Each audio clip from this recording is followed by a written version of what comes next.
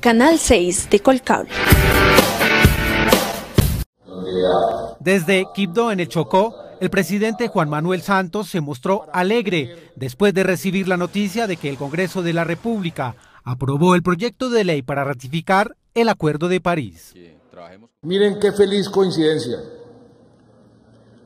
Acaba de aprobarse apenas hace unas horas en el Congreso de la República, en la Cámara de Representantes, el último debate de ese Acuerdo de París para proteger el medio ambiente y la biodiversidad. Hoy sucedió eso.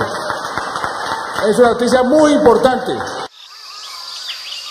Y desde la tierra natal del ministro de Ambiente, Luis Gilberto Murillo, el presidente Santos lo felicitó por su compromiso y gestión con la aprobación del acuerdo que busca mitigar el cambio climático. Y yo quiero felicitar a nuestro querido ministro de Medio Ambiente porque él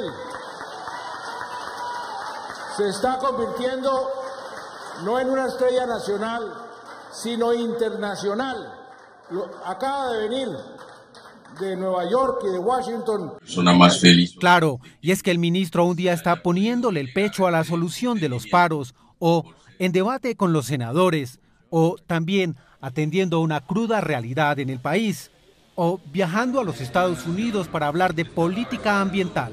Un ministro con las botas puestas que hoy logra aprobar este importante acuerdo ambiental